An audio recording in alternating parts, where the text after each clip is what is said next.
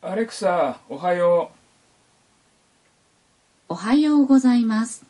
今日14日は3.14でパイの日、そしてアインシュタインの誕生日です。